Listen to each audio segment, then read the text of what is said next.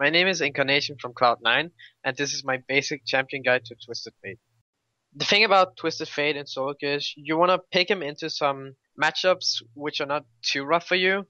So you don't want to play against assassins, for example, because they're gonna give you a hard time. And as TF, you want to be the one who's pressuring, or at least not get pressure too hard.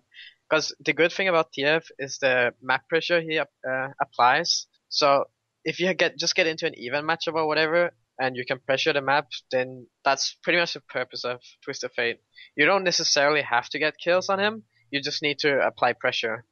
And for laning, you're gonna have some hard matchups, but one way to um, avoid getting punished too early is you can use three red cards on the first wave on the caster creeps and just shove the lane, shove your lane in so that he he doesn't have time to poke you down or whatever and harass you. So that's a little trick you can do with Twist Fate. And you have to realize that you're gonna be in some bad matchups. So you're gonna have to like try to last it with your Q max range or just look to do other stuff on the map because he's not the strongest laner of all time. So you have to keep that in mind when you play him. And you can also, he is not that weak in lane. You can also harass with him and you just walk up, log in your um, gold card and then Q them and then walk back as soon as possible.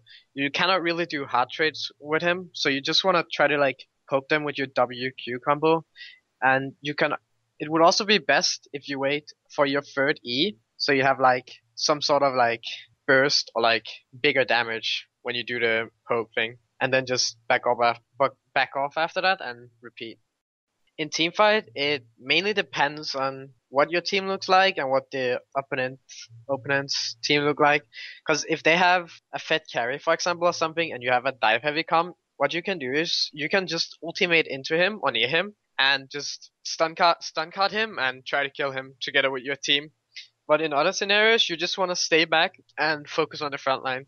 But the good thing about TF is you want to have the Zhonya's if you want to ult in and dive in or you're just gonna go in and get killed and you don't want that to happen. And some tips for TF is when you shove the lane, uh, a good thing to do is just walk out of vision or like just sit somewhere where they don't have vision of you because it applies pressure on the map for them. If they have no idea what Twisted Fate is, they like automatically have to play scared on on other sides of the lane because of the pressure of his ultimate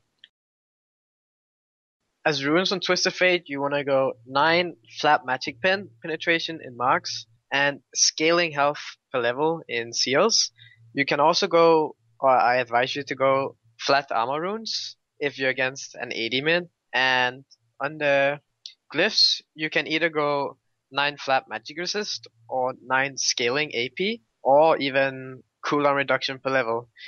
Um, it's probably easiest to play with the flat magic resist since you're gonna have um, a tough laning phase on TF. So that's probably easiest. And if you look, if you just look to roam and scale, then you should probably go for scaling CDR. But again, it also depends on what you choose to build on him. Because if you if you already get cap CDR from the way you build him, then you don't need that. And and for the Quint, you want to go either free flat uh, AP, or you can go two or three movement speed quints, which is, which a lot of Twisted Fates tends to do because you want to look to roam and just apply pressure on the map. But I personally prefer going free flat AP, so you also have a somewhat strong laning phase. And for the masteries, I would go 21-0-9 with the biscuit. In rare scenarios, you can go 21-9-0 if you're against an AD champion and you really like want the small defense that the defense gives you. And for the skill order, you typically want to go W level 1, uh, and sometimes you can go E level 2, but usually you want to go Q level 2.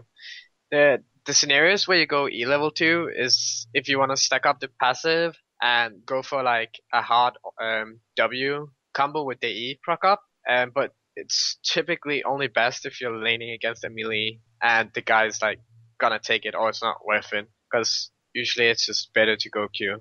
And you want to max Q and Twisted Fate and then W after.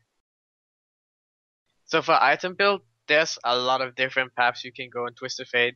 You can either go for Morello, as your first item if you just look to try to roam and get kills. Or you can go for Lichbane first item, which I personally prefer doing, which gives you more damage and makes you a bit stronger early on as well into Lichbane. So you actually like you. Ha- I feel like if you do that, you have more of an impact on the game early on, because then you actually do damage and you don't rely on your solo queue teammates to do as much damage. And then after that, I typically go Zhonya second item. In some cases, I would build a Morello after, but typically Zhonya, and then um, it's just pretty much standard build from there on into Rabadon, um, Void Staff, and then Luden's last item or something like that. You can even go Morello last item if you feel you need the CDR. And I always go for the CDR boots on Twisted Fate when I go for the Lichbane build path. Thanks for watching this basic champion guide. Make sure to check out the rest over at lolclass.com.